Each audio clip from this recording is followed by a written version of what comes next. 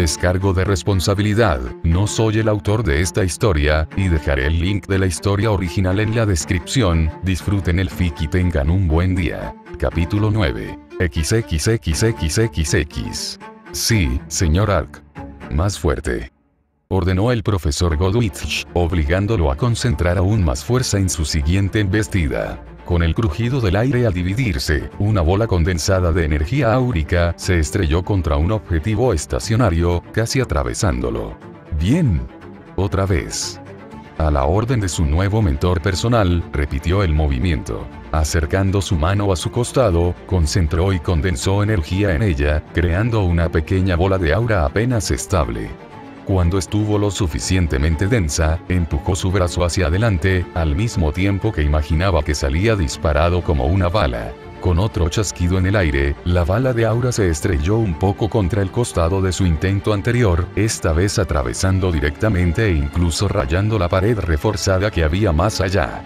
Ya es suficiente, anunció la señorita Godwitch, acercándose un poco más para examinar el daño que había causado. Aún se desplomó levemente y dejó escapar un suspiro. Ni siquiera recordaba cuando se había sentido tan agotado la última vez. Después de todo, su nuevo mentor no se había entretenido con el entrenamiento. Casi una semana después de su extraño arrebato durante la clase de combate, su instructor de combate se acercó a él durante una de sus sesiones de meditación. No sabía qué pensar en ese momento, si tuviera que elegir diría que estaba en problemas por lo lesionado que estaba su oponente después del sparring. Resulta que la cazadora más fuerte del reino vio potencial en él, incluso le ofreció ser su mentora para su total sorpresa. ¿Qué clase de idiota sería si rechazara la ayuda de una de las mejores luchadoras del mundo? Jadeando ligeramente por el esfuerzo, se enderezó nuevamente desde la posición encorvada en la que descansaba, solo para recordar por qué estaba ligeramente encorvado en primer lugar. A unos metros frente a él estaba la mujer del momento, la cazadora capaz de derrotar a miles de Green por sí sola, la instructora de combate que era responsable de las próximas generaciones de cazadores, la infame disciplinaria de la Academia Viacom que era tan estricta que incluso otros profesores le tenían miedo. Y ella desfilaba por la sala de entrenamiento con pantalones cortos y poco más que un sujetador deportivo. Como hombre de sangre caliente, aún podía estar de acuerdo fácilmente en que Glinda Godwitch era una verdadera belleza. Tenía ese aspecto de disciplinaria barra maestra barra secretaria perfectamente logrado. La forma en que la miraba en ese momento le produjo un latigazo tan grande que se enderezó nuevamente a la normalidad, solo para que ella se inclinara frente a él para examinar el objetivo más de cerca. Oh dioses, realmente esperaba no tener una erección frente a la maestra, estando con ella a solas. Esto parece bueno, la mujer todavía inclinada murmuró más para sí misma que para él, trazando el agujero irregular en el objetivo con uno de sus dedos. Maldita sea. Tu poder de penetración es bastante bueno, aunque podría ser mejor. Nos centraremos en eso y en la velocidad de disparo para empezar, dijo el profesor Godwitch, volviéndose hacia él. Es una buena idea, convino Jaune, sudando la gota gorda mentalmente y tratando de discernir si su nuevo mentor estaba haciendo todo esto a propósito. Inventé esta técnica accidentalmente cuando estaba tratando de aprender de Estream, todavía estoy tratando de entenderla. Ah, sí. Lo recuerdo de la iniciación. La profesora Godwitch sintió en señal de reconocimiento, haciendo que ciertas partes de su cuerpo se sacudieran por el movimiento bastante brusco. Tengo que preguntar. ¿Esperaste una buena oportunidad o realmente te llevó tanto tiempo prepararte? Lleva tiempo. Concentro una gran cantidad de aura en una esfera condensada de energía y luego la dejo ir en una sola dirección. Es muy básico, pero el truco real está en concentrar la energía y liberarla de manera constante y continua. HMM, trabajaremos en eso más adelante. Volvamos a centrarnos en lo básico y luego ampliaremos el tema, reflexionó la profesora Godwitch, cruzando una de sus manos bajo el busto mientras usaba la otra para hacer gestos. Bueno, aún estaba casi seguro de que lo estaba haciendo a propósito. No había forma de que usara una pose que resaltara tanto sus pechos de manera tan casual. Puede que él haya sido estudiante en Beacon durante apenas unas semanas, pero nunca la vio haciendo eso. Además, está el tema de tu arma. Si bien es más un tecnicismo y estoy seguro de que con suficiente práctica podrías utilizar tu espada aura de forma no letal, sería una buena idea pensar también en algo que pudiera servir como foco para tus técnicas aura. Su nuevo mentor continuó, sin darle tiempo a recuperarse. Le preguntaré a Ruby. Parece que tiene todo bajo control. Quizá pueda darme algún consejo. Aceptó a regañadientes. Bien. Ahora, reanudemos el entrenamiento. Los objetivos móviles deberían ser suficientes por ahora.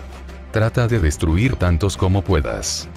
Por alguna razón, el pequeño brillo en los ojos de la mujer mayor lo hizo estremecerse levemente. Su única advertencia fue el sonido de algo cortando el aire cuando un pequeño disco de arcilla impactó en el costado de su torso, convirtiéndose en polvo al estrellarse contra su aura con suficiente fuerza para hacerlo tropezar. La conciencia situacional es importante, señor Alk.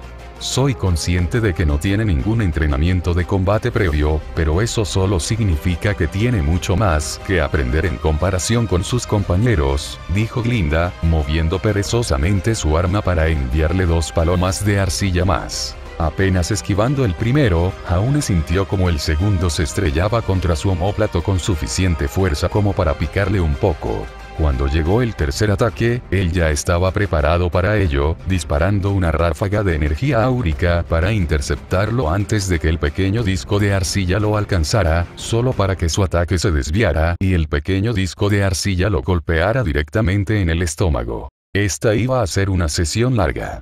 XXX. Arthur Batz fue muchas cosas. Era extremadamente inteligente, guapo más allá de lo creíble y dueño del bigote más glorioso que el mundo de Remnant jamás tuvo el placer de presenciar. Además de eso, era un súbdito fiel de su reina. Era natural inclinar la cabeza ante sus superiores, por lo que solo se inclinaba ante su majestad. Ella le dio un hogar cuando su propio país quiso ejecutarlo por razones insignificantes e intrascendentes, como la experimentación con humanos y faunos o el uso de fondos autorizados por el gobierno para promover su propia investigación robótica. Ella entendió que el progreso requería sacrificios, incluso si no estaban dispuestos a hacerlo. Él apoyó todos sus planes con todas sus fuerzas e intelecto, después de todo, él era el ser más inteligente en esta roca volando por el espacio. Era la única razón por la que toleraba a tontos como Tyrion o Cinder. Acel estaba bien. Sabía cuál era su lugar y no armaba un escándalo por nada. El grandullón incluso permitió que el buen doctor investigara un poco sobre él, esa semblanza que anulaba el dolor era algo bastante especial. Aunque hubo un pequeño problema. Últimamente, su reina estaba haciendo movimientos a partir de sus predicciones, como ordenarle establecer una cuenta irrastreable para su propio uso y coordinar con Cinder la compra de un modesto apartamento en la ciudad de Vale. También ordenó hace unos meses el cese de todas las operaciones en las cercanías del reino, poniendo en pausa algunos de sus proyectos. Ahora le ordenó conseguir revistas sobre moda y estilo. Tal vez estaba preparando a Cinder para algo, Después de todo, envió a la joven a territorio enemigo. Sin embargo, no iba a cuestionar al ser más poderoso del planeta porque estaba haciendo algo. Era lo suficientemente inteligente como para entender que podría ser perjudicial para su salud después de que estuvo cerca de la muerte cuando intentó ingresar a sus aposentos para instalar su terminal personal terminó colocando todo sobre los escritorios ornamentados que le proporcionaron y luego todo fue llevado por uno de los Grimm que se parecía a un simio. Un Beringel si recordaba bien. Al entrar a comedor, vio a uno de sus compañeros de trabajo, en el sentido más amplio de la palabra, sentado en su silla con el rostro ligeramente deprimido. Ahora bien, no era nada nuevo, pero para que Tyrion se sentara apropiadamente en la silla en lugar de posarse en ella, tenía que ser algo serio. Hola, Tyrion. ¿Tienes algo en mente? El fauno escorpión solo dejó escapar un gemido, hundiéndose más profundamente en su silla. Nuestra gloriosa diosa ya no me quiere, se quejó, escondiendo su rostro entre las palmas de las manos. Incluso tenía bolsas negras bajo los ojos, como si no hubiera podido dormir durante mucho tiempo. Dejando escapar un suspiro, se sentó frente al fauno, observando al hombre desquiciado. Tyrion, al oír su nombre, el hombre escorpión se movió ligeramente como para indicar que estaba prestando atención. ¿No crees que si nuestra reina ya no quisiera usarte, se desharía de ti sin más? Preguntó sin rodeos. Ya lo pensé. Ya lo pensé. Y con gusto me arrancaría el corazón por mi diosa si así lo desea. Tirian casi gritó, enderezándose en su asiento. Pero nuestra diosa más benévola no me dio esa orden, no me ha dado ninguna orden desde que fui a Aven, ¿crees que está disgustada? Tal vez hice algo mal. Se derrumbó sobre la mesa y comenzó a llorar, lágrimas incluidas. Tirian, mi buen amigo, mi amigo, Tirian, empezó Bax, sin poder pronunciar la palabra que planeaba utilizar. Ni siquiera yo, con mi vasto intelecto, puedo comprender lo que Nuestra Señora ha planeado. ¿De verdad? Preguntó el fauno que estaba frente a él, repentinamente lleno de esperanza. Sí. Lo único que podemos hacer es seguir sus instrucciones y órdenes. Durante mucho tiempo pensé que Nuestra Señora no planeaba nada grandioso, pero últimamente Lady Salem comenzó a tomar medidas, como enviarte a ti para conquistar a Mistral a través de la Academia Aven o enviar a Cinder al asiento de poder de su enemigo. Continuó. Lo único que podemos hacer es esperar hasta que nos necesiten y asegurarnos de que estamos en la mejor forma posible para hacer lo que Nuestra Señora necesite. ¿Sí? ¿Sí? Ahora lo veo. ¿Cómo pude ser tan tonto? Por supuesto. exclamó Tirian, enderezándose una vez más. Sonriendo, Vat se dio una palmadita en la espalda en sentido figurado, habiendo logrado una vez más lo que se había propuesto. Sasuga Salem-sama. Gritó con alegría el hombre trastornado en el antiguo mistraliano. Puede que no sea capaz de entender los planes de su diosa, pero al menos puede mantener a sus secuaces en orden. Incógnita. ¿Qué tal un bastón que se transforma en un misil de crucero que también es un arma? Preguntó una pequeña mancha roja de pétalos de rosa, moviéndose de un lado a otro de la habitación, rebotando varias veces en las paredes e incluso en el techo como un mono araña adicto al crack. Rubí, un chico rubio intentó llamar su atención, sin lograrlo en absoluto. Había esas ametralladoras eléctricas geniales en el último número de David Hest Gun. Necesitábamos incorporarlas también. Ruby, espera. ¿Qué tal una combinación de espada sierra, jabalina y chakram que también sea un arma?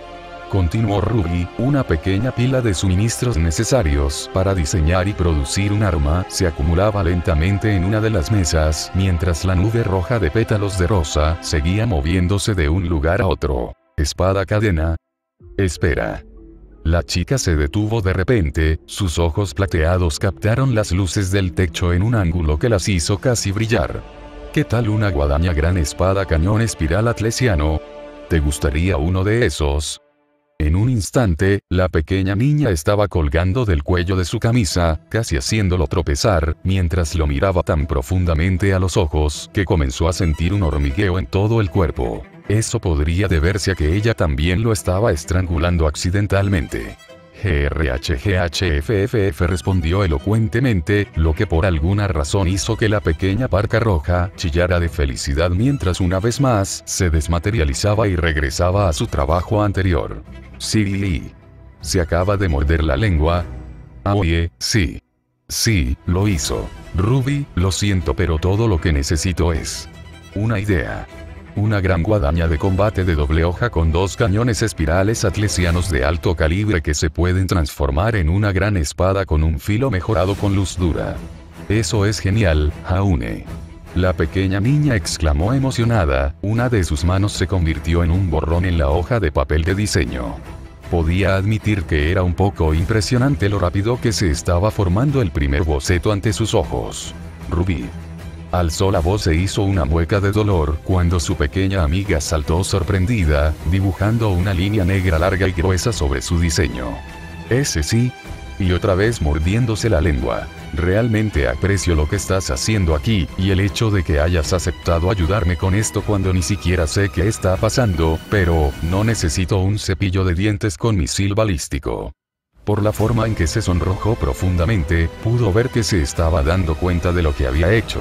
Oh, oh, lo siento. Ruby se puso la capucha y se disculpó en voz baja mientras pateaba el suelo con la punta de su bota de combate. Es muy raro que alguien quiera mi ayuda, especialmente con algo que amo tanto, murmuró, visiblemente avergonzada. Está bien. Lo entiendo. Realmente no lo entendía. Empecemos con algo simple y luego tratemos de pensar en expandirnos, ¿de acuerdo? Sí, eso suena bien. A pesar del rostro enrojecido y el rubor, la joven le devolvió la sonrisa, ahora un poco más centrada y con los pies en la tierra. Está bien, la profesora Glinda me recomendó que usara mi arma como foco de mi aura. También puedo decir que me sentía bastante cómodo con una espada de una mano y media, así que tenemos nuestra forma básica, empezó Jaune, sonriendo levemente ante el brillo de felicidad en los ojos de Ruby. A ella realmente le gustaban las armas. HMM, la conductividad del aura en las armas no es tan difícil de lograr, tenemos un par de opciones allí, reflexionó, mientras sacaba una hoja nueva de papel de diseño y garabateaba algo en el costado. ¿Qué más? Preguntó, volviendo la mirada hacia él. No lo sé realmente en este momento. Tal vez si pudiera usar mi espada de destello para crear un filo, entonces la espada central en sí podría ser Roma para tener más opciones no letales. Propuso. También podríamos experimentar usándola como una forma de apuntar correctamente mis balas de aura. Puedo usarlas con las manos desnudas a corta distancia, pero honestamente solo las miro a ojo todo el tiempo. Tal vez algo que me permita lograr una precisión de rango medio o incluso largo sería bueno. Esa es una buena idea, tal vez algo así como un riel más que un barril, sería capaz de aceptar un tamaño variable en lugar de forzarte a crear algo idéntico cada vez, murmuró Ruby para sí misma más que para él.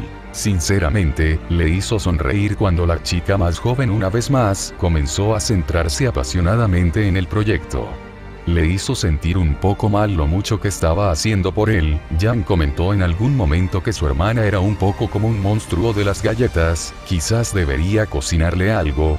Eso le pareció una buena idea. Sintiendo que su pergamino vibraba con un nuevo mensaje, lo sacó distraídamente y miró la pantalla. Le tomó unos segundos entender lo que estaba leyendo, pero cuando lo hizo, una sola carcajada de sorpresa salió de su boca. ¿Cinder está intentando comunicarse contigo otra vez? Preguntó Ruby con una sonrisa patentada por Jan. Suspirando, Jaune no pudo evitar sonreírle a la chica.